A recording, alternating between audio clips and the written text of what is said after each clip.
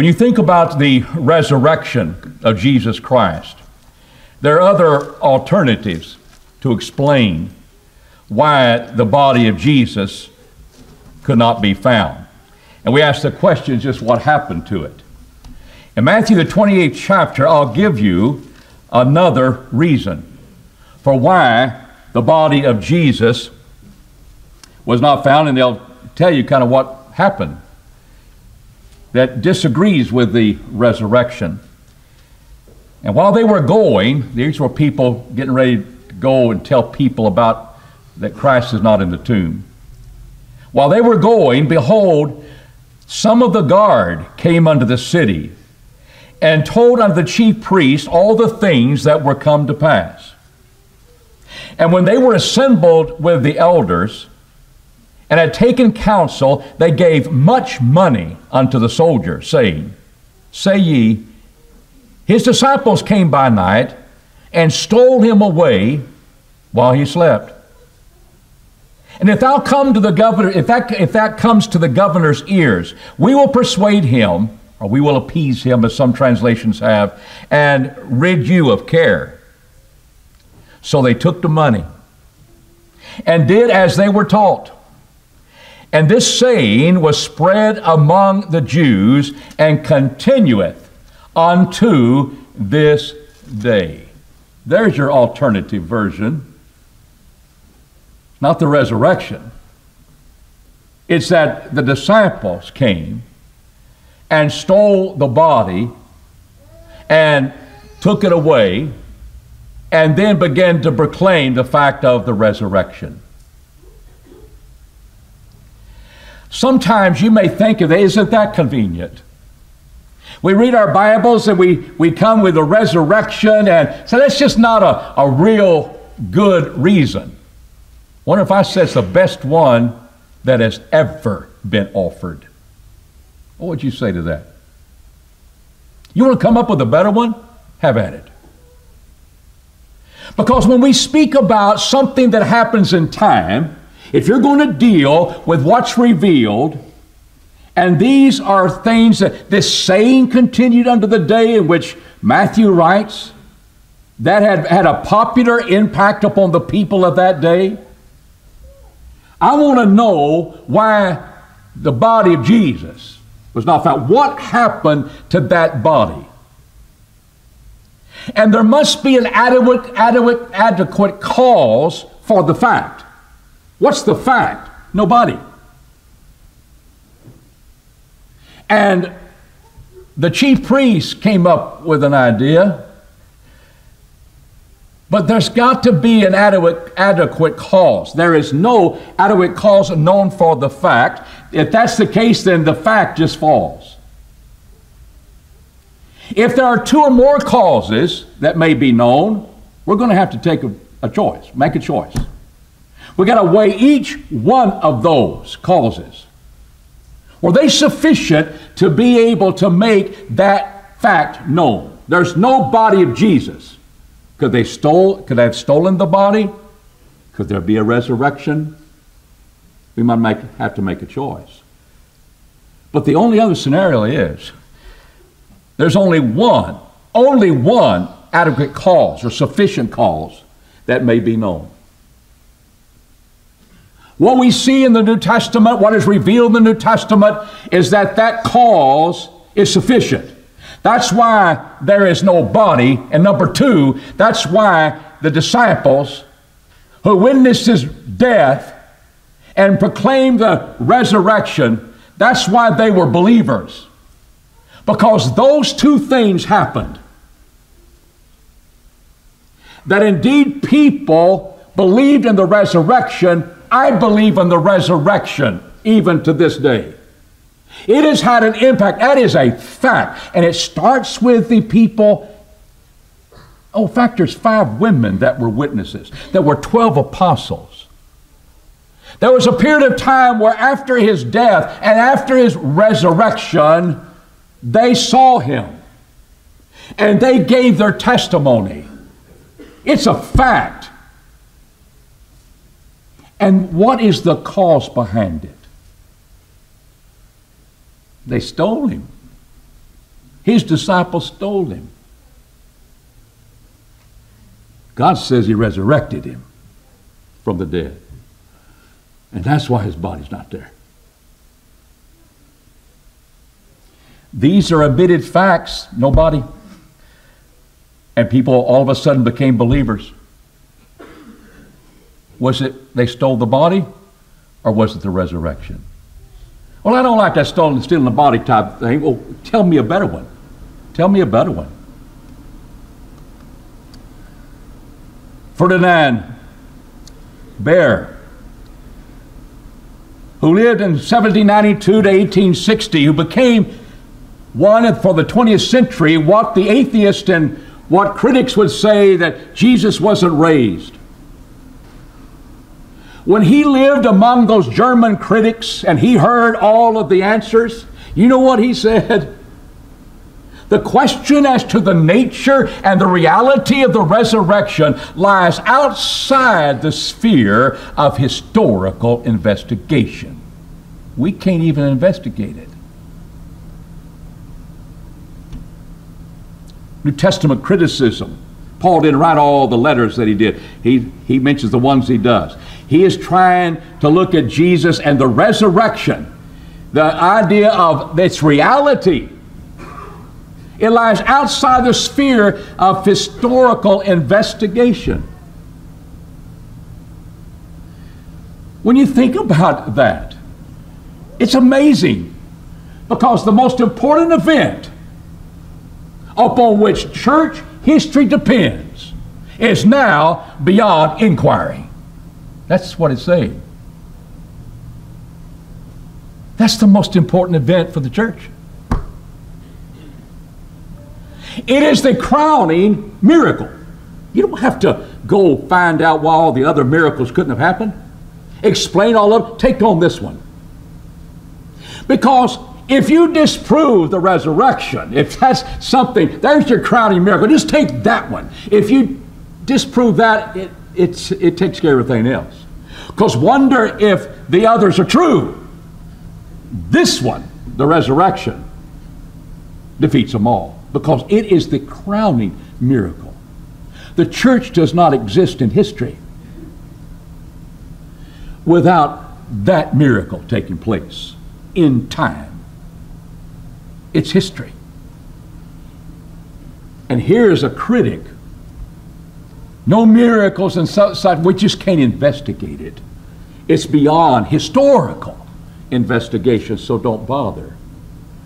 That's just amazing to me. It's kind of like what people and evolutionists today, you know, this idea of God, we're not going to put God as a possibility because uh, that's beyond science.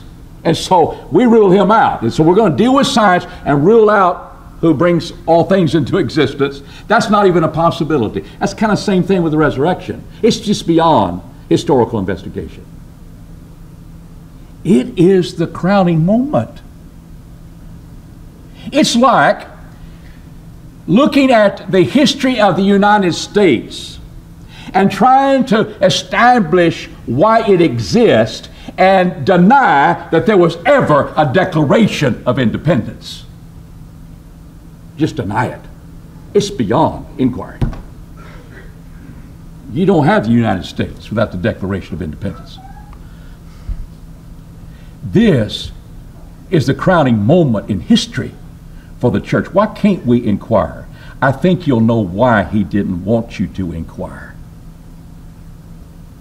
Because we're going to take the great minds of the 19th century, who the 20th century philosophers and critics will depend upon, and we'll begin to see why Valera may say what he did.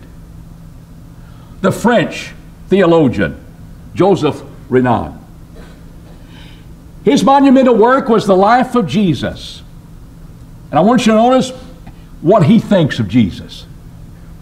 Jesus will ever be the creator of pure spirit of religion. The Sermon on the Mount will never be surpassed. Whatever revolution takes place will not prevent us attaching ourselves in religion to the grand and intellectual moral line at the head of which shines the name of Jesus. the faith, the enthusiasm, the constancy of the first Christian generation is not explicable, except by supposing that at the origin, the whole movement of man, and we'll add to that, pretty good praise has taken place. He continues, let us place then the person of Jesus at the highest summit of human greatness. Now, here's a man that exalting Jesus as a historical figure. Whatever revolution takes place, he's at, the, he's at the head of that. It's grand, it's wonderful. He sums up his, meaning Christ, perfect idealism is the highest rule of the unblemished and virtuous life. Not only his, but ours. The foundation of true religion is indeed his work. But he's going to be a denier of the resurrection. I ask you, can you praise Jesus like that? And if Jesus was not raised from the dead, did he not deceive us? I'll just take one passage of Scripture because I'm seeing my Lord before he dies upon the cross. He's making the statement pretty plain of what's going to happen in Jerusalem. He began to teach them that the Son of Man must suffer many things and be rejected by the elders and be killed. But that's not the end of it. And after three days, rise again. That's what he's saying is going to happen. Prophet, and the resurrection did not occur. You're not much of a prophet. In fact, by God's standard, you're a false prophet. And this is where the book of God places us. See why some men don't want to go into inquiring too much about resurrection as a historical fact? Because if they start dealing with it, there's implications of it. And one of the things is, is how come he's going to be the source of a virtuous life when he is a liar, when he is a deceiver. Secondly, the foundation. What foundation? Apostle Paul, inspired of God, tells us there's no foundation, there's no church, there's no confidence in our belief when there is no resurrection. Oh, it wasn't a, will I be raised from the dead? Is that going to take place? Paul deals with that in 1 Corinthians, the 15th chapter. But listen to what he says in verse 14 or what he writes. If Christ has not been raised, and that's what Renan, Renan is going to say, if he hasn't been raised, he says, then is our preaching vain. Your faith is vain, also vain. Yea, and we are all found false witnesses of God, because we witnessed of God that He raised up Christ, whom He raised not up, if so be that the dead are not raised. Brings in our resurrection based upon the first fruits Christ, resurrection. What foundation? See, you can take Jesus as a great teacher moral leader at the summit of human civilization. The pinnacle of purity. Sermon on the Mount cannot be surpassed. We love his teaching, but the resurrection can't have. But I'll take that part of Christ. And I'll just say the foundation of true religion is indeed his work. It flows, it falls, it implodes if there is not the resurrection of Christ. And I think he is the ultimate deceiver. Because we're living a life for him, knowing we have a lively hope for the future. And if he wasn't raised, what a deceiver of mankind. But this same man, Renan, he did more than Baur would do. He said, let's consider why the body was not found.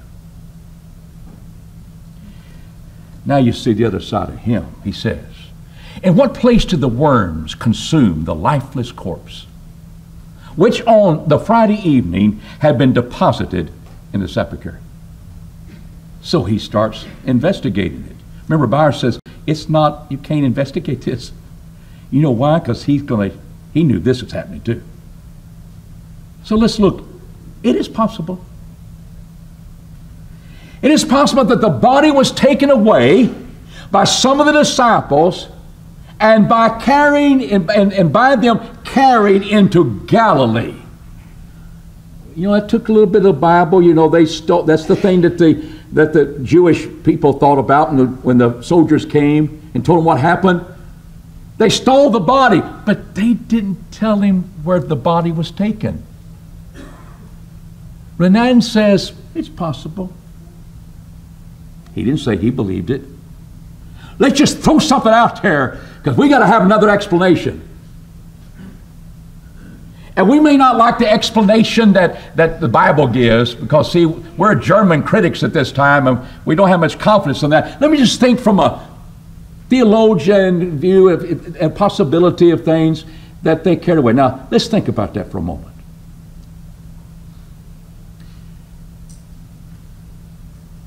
It is the hot part of the year.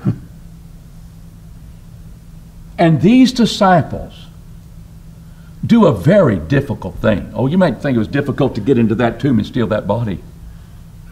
But to carry it to Galilee 60 miles away in the heat, carrying the body, they got a casket, got a bier, taking that in and, and taking it in, and that's where they buried it. Renan says it's a possibility. And they buried it in Galilee. That's what happened to your body. It wasn't a resurrection. Is that an adequate cause? If you want to steal a body, you don't have to carry it 60 miles. Why would they do that? Is that where the worms consumed the lifeless corpse of Jesus? It is possible. It is also possible, as he thinks and theorizes,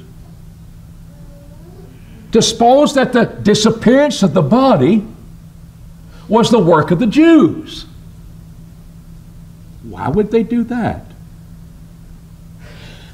Because they knew how closely the people hung upon Jesus, and they were afraid there was going to be a great tumult over his funeral. They might have a funeral procession. And besides that, they might build a monument to honor him. That's Renan's thought thinking. What would taking the body away interfere with those two? They could still have a ruckus funeral procession, and they still could make a monument. But he says it's also possible that the Jews did that. Why would the Jews want to encourage the idea is a missing body, and the idea, well, maybe it could be the resurrection. That's why they came up with what they had. It's a lie. And the Jews had no interest in that. Why is that an adequate cause? Thirdly, lastly, he's throwing them out there. At least he's discussing it. Meyer wouldn't touch it. I think I know why.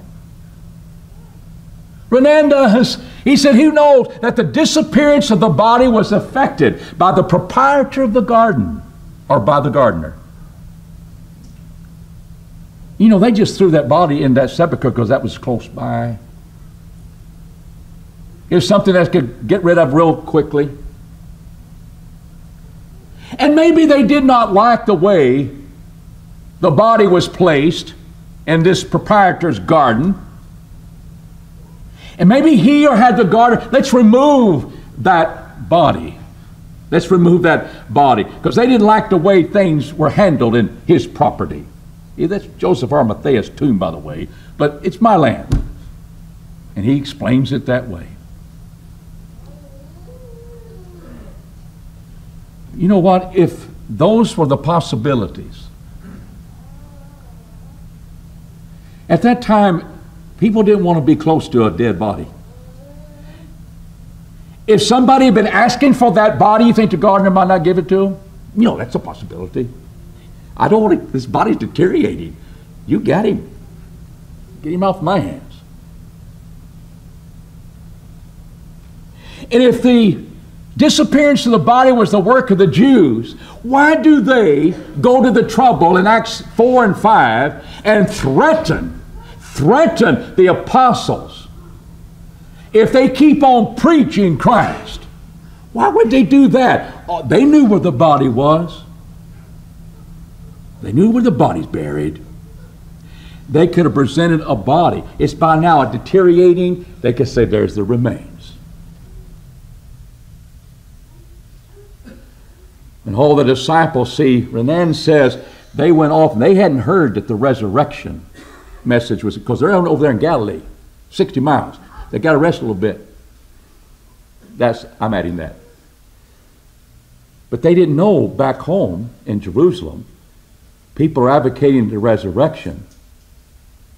And when they come back, they're going to keep their mouth shut. Really? They could have told the truth about what happened, but no, they're going to keep their mouth shut. So that's why it, it, it takes place. And after all, what they say were not to be listened to. Really? When you present the body of Jesus as evidence, and nobody will listen to that? Ladies and gentlemen, those are his adequate causes. And Baur's statement is so instructive because he didn't want to go to these crazy things. They're not adequate causes. That's why he takes it out of inquiry of history. Because you don't have a better explanation than what you have in the Bible. Both alternatives, resurrection or what they were saying about him. We have to make a decision between, between those two. Renan continues. He said the, he starts now investigating the witnesses. See, that's pretty good evidence. And how are these critics going to deal with that? What they're going to have to deal with is that what, what is the explanation of why these eyewitnesses, all different people, different times, claim the same fact? Well, he said they had ardent expectations. That it was something that was so grand that, was, uh, that they just were wanting it so badly, they would believe anything. And when you look at the facts that are brought in the Bible, in Matthew 16, 21, 22, Jesus speaks about his death and resurrection. What does Peter rebuke him? That these things will never happen. Will not happen to you, O Lord. Why are the two disciples still despondent in Luke 24 from Emmaus that they were traveling? They were sad when Jesus meets up with them. We thought he was going to be our king. They weren't expecting it. It was an ardent expectation that was taking place. In verse 41, why does he come when Jesus appears to his disciples? Why are they still not believing when they've heard the message that Jesus was raised? And Thomas, in John 20 and 25, I've got to see the handprints, hand into his side, before I believe. They were ardent expectation people that they didn't, they weren't thinking logically, they weren't thinking correctly when the eyewitnesses tell them who they are, when Jesus appears before them. What were they anticipating? They thought they saw a spirit, not Jesus in the flesh. But see, that's what makes the resurrection so believable. God can do that. But why do these people who weren't expecting it, who rebuked Jesus for thinking it, who deserted him when he was captured. Why would they become believers? Why would Jesus' brothers in the flesh, who do not believe him in John 7, in Acts 1, they're waiting for the anticipation of the Holy Spirit in Acts 1. What caused? What's the adequate cause for such changes in people? Almost overnight, the resurrection happened. But no, that's not a possibility. It's just ardent expectation. Now, Renan has not given you possibilities, he's contradicted the facts. That's how you deal with the Bible. You'll just contradict it as being fact. And that's not dealing with maybe the possibilities we've misread the facts. They're contradicting them. And then, here's a great one. They had excited nerves. Well, you just hallucinated. Some of you have been, you've had surgery and you've been on morphine and your loved ones come into the room and you're peeling spiders off the walls. You see things. They say, hey, what's the matter with you? And they're looking here and there, they're looking beyond you. They're having hallucinations. But are they still having them? Are they still looking and seeing spiders on the walls? You might want to go back to the hospital. But usually you get over that. Usually come back to your senses. In the first century, here were logical people before and logical people afterwards who, when it came down to the eyewitness accounts that they give, they wanted it so badly. When Mary heard her name and she heard it, it would probably sounded like Jesus because it was. She thinks it's the gardener. And when she finds this Jesus, she bows down and holds to his feet. He said, Don't you latch hold of me. I haven't gone to the Father yet. And what Renan says, that she was anticipating this, and what she ended up seeing is not Jesus, but a shadow, a shadow that disappears. That's contradicting the evidence. It's not giving the possibility that she was just hallucinating, wanted it so badly to be true. And what is interesting to me that Josephus says, in the first century, the one person that could never give testimony in court was a woman. She was never allowed to give testimony in a court of law in that Roman world. And who does God allow to be the declarers of the evidence. Five women. See, their minds are full of levity, and they're too bold to trust them. Now, I'm not saying that about you. So frivolous, women thinking. And boy, don't you get on their bad side because they are bold. And they may say anything. You can't trust them in a court of law. That's the Roman world. And yet, who came to the tomb? Whom did the angel speak to? And they go and tell the evidence. And they're separate occasions of Jesus of, of, of appealing them. God is laying down the evidence, but the best man can do is they anticipated so badly they wanted to be true, and they were just hallucinating. Paul, you know why his eyes, why he's blinded? Because at Mount Hermon there was a thunderstorm, and it blinded him. It blinded him. And see, that becomes a problem because, see, he was one that not anticipating the resurrection. But he is the one, you can say, well, he, he wanted it so badly, but you've got to deal with blindness in the story. And so, how do men deal with that? It was just a thunderstorm, not really Jesus. He was hallucinating. Is that an adequate cause? Is that something that may be true? Question Why aren't there any witnesses of the resurrection? Why is that? No. When the angel rolls away the stone in the scriptures and sits upon that stone, and the women are coming, he's risen. It's already happened. The resurrection's occurred. When the soldiers kind of are startled, when the angel comes and they're like dead men, they're just they're just have to be they're, they're positioned, they're they're paralyzed. The resurrection has already occurred. They're just giving evidence of the evidence. There's no body. And the Bible does not go into the details of the resurrection. But man does. Man does.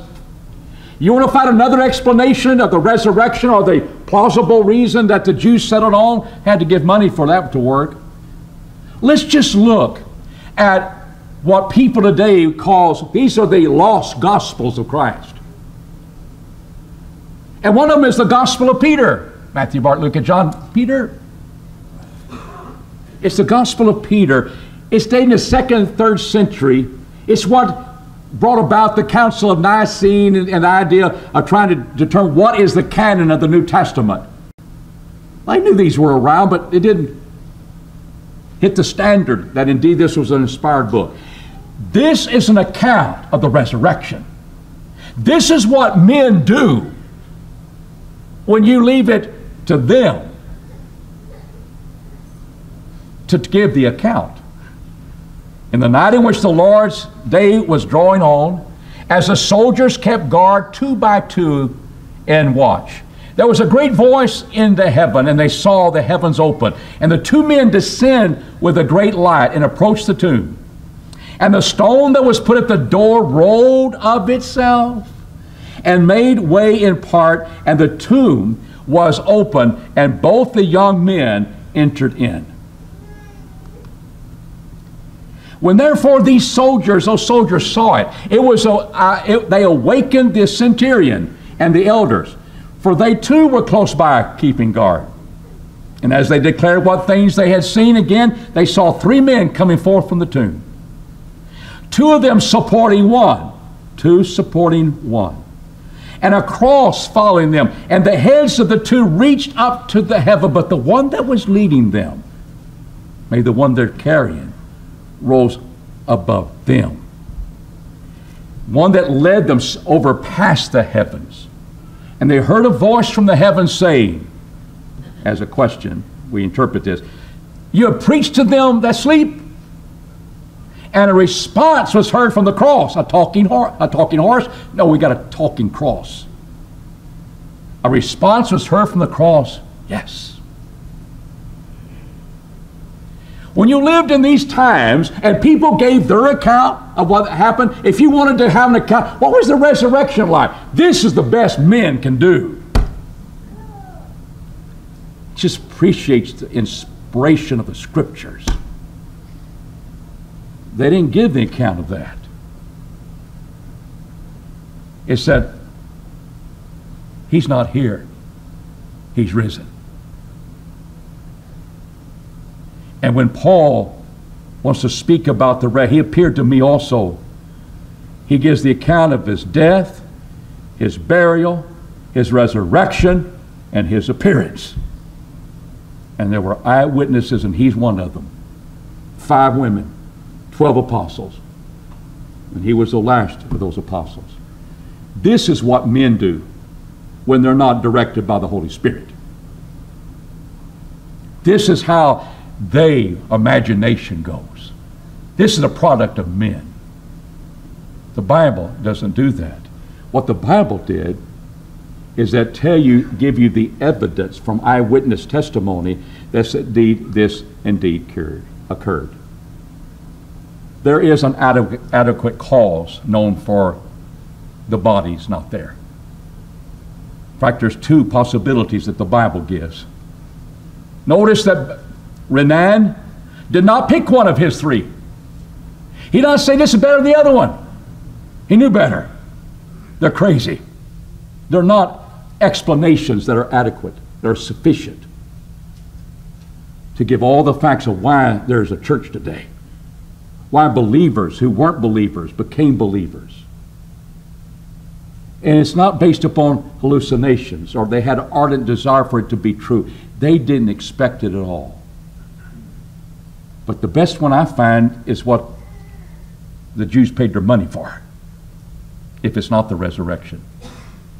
But the resurrection is sufficient to answer the fact why there's no body, and to answer the fact why there's a church full of believers that happened at the time when Jesus was put to death, and why the body was never presented. To me, points me to the resurrection. Even among the critics and the skeptics, Baur kind of took the fifth because he knew what was out there. Renan took the bait and ran. And you see what, there's not, there's not even better what Jesus' book offers. But see, with Baur and Renan, the evidence is too compelling to ignore. They have to deal with it. But see, like many, it's more demanding than one can accept. That's the problem. And we, as believers in Christ, have good evidence for the miraculous event of history. The crowning miracle, the foundation for the church. He's not here, but He's risen.